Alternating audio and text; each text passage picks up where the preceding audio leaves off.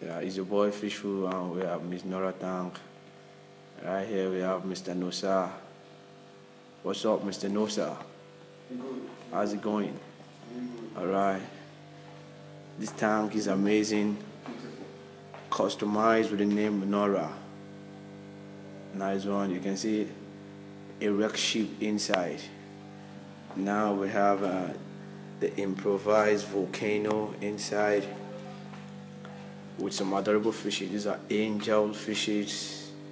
You see the Japanese koi carp there moving. Wow, so amazing. Right here we have the Oranda goldfish alongside with the calico. Alright. Alright, alright. Okay. The angel fishes are doing so fine. That is the London Bridge right there where they can actually go in and come out and be happy. Okay. Them doing just fine.